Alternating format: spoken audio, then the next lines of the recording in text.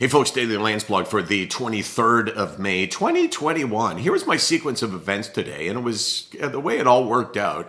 Uh, it's kind of unusual, but here's what I'm talking about. So, at around one o'clock in the afternoon, uh, I had this uh, great conversation with a 15 year old person who has been suffering from emetophobia off and on, but now totally on for the last handful of years.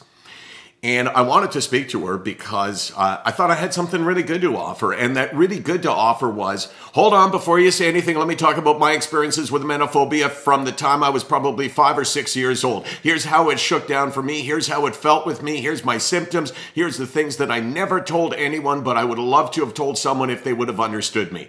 And I went through all of those things, and, you know, I could see her doing this. And then eventually it was like, so I said, so is that you? And she said, you know, like that describes exactly what goes on in my head. And then got an email uh, that says, not sure if you've talked about this before on the show, which of course I have, but uh, hello, you're not watching all 1,800 of these suckers? Man, that's insulting.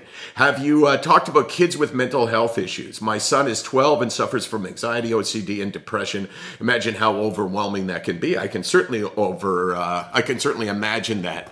and I, I would say that the lesson that I learned today knew it before, and I said it actually on the uh, Landsblog that he was responding to, that uh, if I could have spoken to someone who had experienced or was experiencing what I was going through when I was a kid, would have made a huge difference, a huge difference. So find someone who won't just say, hey, I'm here to listen.